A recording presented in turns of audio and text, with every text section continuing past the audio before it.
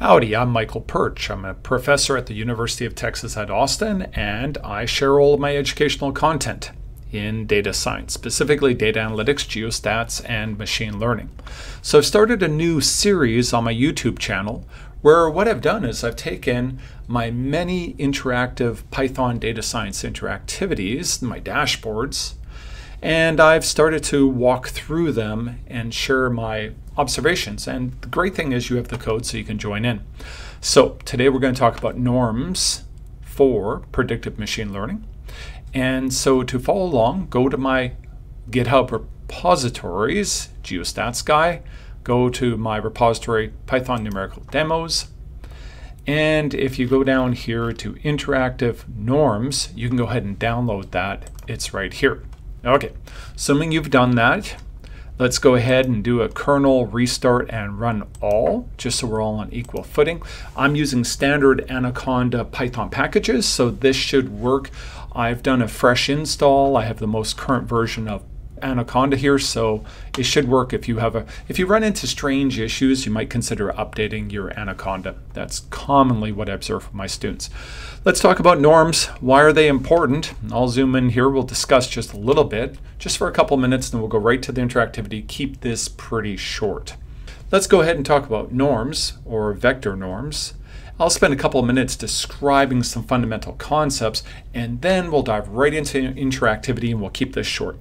Now, if you want to get a little bit more background information, I do in fact have a lecture on norms, part of my machine learning course. Spend an entire lecture talking about them.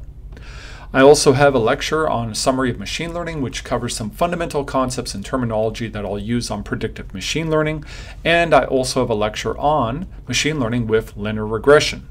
Uh, so ridge regression and so forth. I have those all available. Go ahead and follow that link. All right, let's dive into a couple of details about norms. What it comes down to is this. When you're fitting your machine learning model to data, your training data, you're going to have error. And, and that makes sense. In fact, it's part of the model. We expect that there's going to be error. And in fact, when we train our model parameters, we're typically trying to best fit the training data such that we minimize the error. Okay, so what are norms? How do norms have anything to do with this? Well, let's calculate our error over our alpha equals 1 through n training. We're going to have errors at every one of those observations. So as we're fitting the model, you could imagine there's going to be some delta in y, which will be the model prediction minus the true value. y hat is our prediction, y is our true value, and that's the error.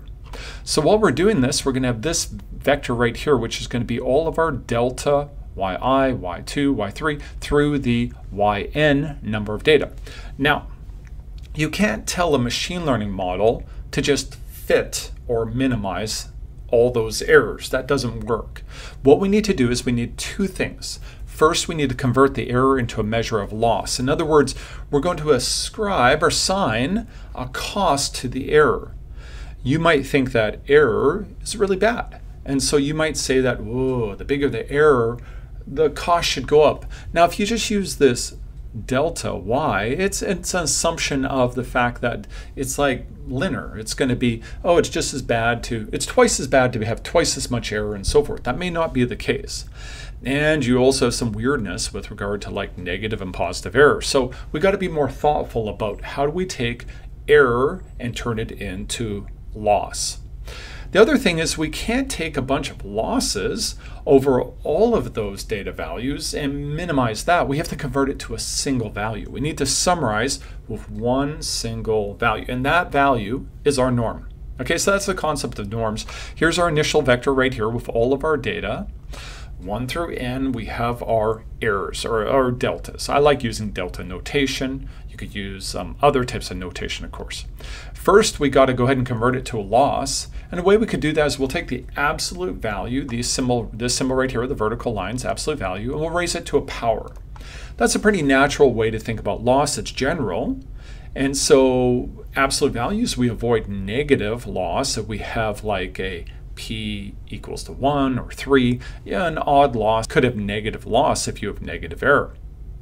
Now what we we are going to do is we'll take those absolute values and we'll raise them to p. And p is going to be our converting or mapping from error to loss. Okay, so so far we've got the first thing done. We've gone from error to loss.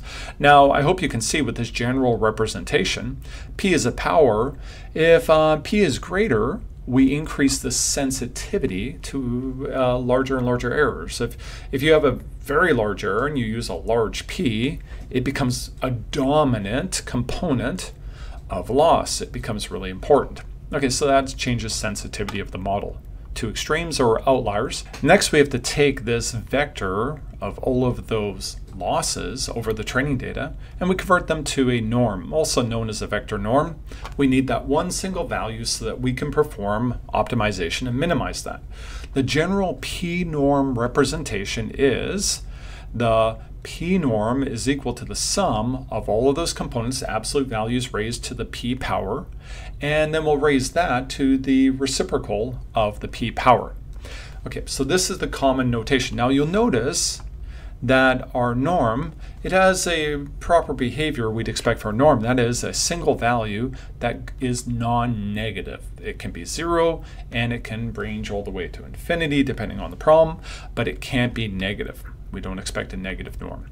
Okay, now what are some of the norms we could work with? Common norms, Manhattan norm, also known as L1, you also with this notation L to the exponent 1. This is where p is equal to 1. And if you look at the equation above, the general p norm representation, you'll see it's just the sum of the absolute values. This is also known as a city block uh, norm, and we'll talk a little bit more about that. Euclidean norm, it is the L2. This is where p is equal to 2, and if you substitute 2, p equals 2 in this general equation, you'll see that it turns into this representation right here. I removed the absolute values because we're squaring, we're not worried about negative values, but you could put the absolute value in there, it doesn't matter, instead of the brackets. And the general p norm LP is represented with the equation that I just showed. Okay, now does norm selection matter? And you're going to find out it does. In fact, choices we make with regard to ridge regression versus lasso regression all have to do with the regularization term and which norm we choose for it. Let me make a couple of comments. If you want more details, more descriptions, please go to my norms lecture on my YouTube channel in my machine learning lecture or my machine learning course. But let me make a couple of comments that'll help us with observations down below. L1 norm is going to be more robust. L2 norm is mm, may not be so robust. What does robust mean? Resistant, resilient, robust in the presence of outliers. What is its sensitivity to outliers? The L1 norm may be unstable, while the L2 norm is more stable. And this has to do with the fact that if we think about in city block distance, you could have multiple paths that in fact have almost the same the same distance as you're going through city blocks. And so what can happen is if you move data just a little bit, in other words, the destination, if you're going from here to here in a city, it might dramatically change which path you take. In other words, you could go like this, you go like this, but if you move a little bit this direction, now you must go this way and this solution disappears. This causes jumps in the possible solutions. Okay, so these are some observations. Go ahead and check out my lecture for much more details. The dashboard. I wrote a linear regression algorithm just by scratch, not a big deal, that allows you to change the norm. And so we can pick our norm and see what linear regression is going to do. And we're going to also have the ability to put an outlier in, move an n plus 1 data, which will be uh, controlled by us. Okay, let's go ahead and let's get right to the dashboard. I'll run this code.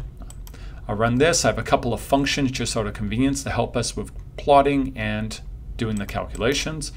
And we'll get down here and this is our dashboard. Okay, let's zoom out just a little bit. What we're gonna do is we'll first take our outlier and let's just tuck it in a bit.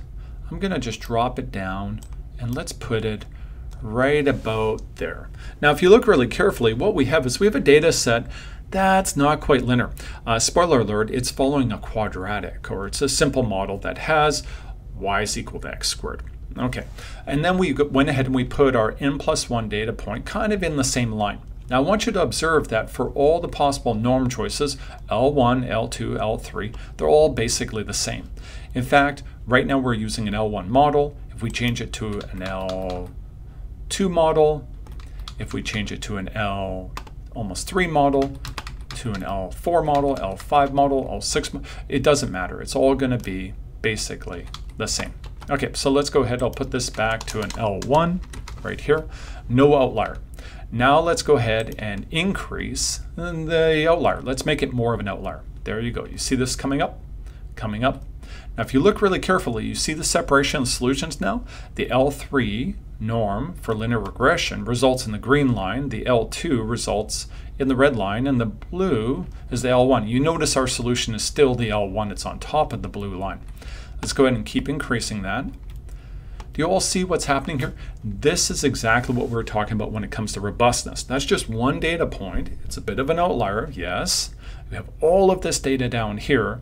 And now for an L2, look at this. It's being pulled up just by that one single outlier. Now look at the L1. The Manhattan norm is pretty robust. It's actually doing a pretty good job of passing through most of the data nicely. It's not so sensitive to this single outlier. Let's go ahead and keep increasing, amplifying this outlier all the way up to the top here. And now we can see a nice spread between our solutions. Now let's go ahead and change our norms and just observe and watch what happens. We start with almost an L1, just a little over L1, L1.5, L1.7, and guess what? When we get to about 2, if I change this to a 2, we're right on top of that red line right there. And we go ahead and increase the norm L 2.3, 2.5, 2.7, and we can go ahead and force it to be 3.0. It's right on top of that line. And of course, we can keep changing this norm. Keep increasing it, increasing it, increasing it. We increase the sensitivity to that one outlier. And we can see we're getting a pretty poor fit with the majority of our data because of that. Okay, there's a lot of other things you can do with this dashboard. I wanted to keep this discussion really, really short. But if you want, you can increase more data. You can also play with the outliers I just did. You can change the norm. And I gave you the opportunity to add some error to the data so you don't have that really nice clean quadratic signal in the data. So check that out. You can make some noise in the data and see how this affects the overall solution. All right. I hope this was helpful. I'm Michael Pyrcz. I'm a professor at the University of Texas at Austin, where I teach and conduct research in data science, data analytics, geostatistics, and machine learning. I'm always happy to discuss. All right, everyone, stay safe.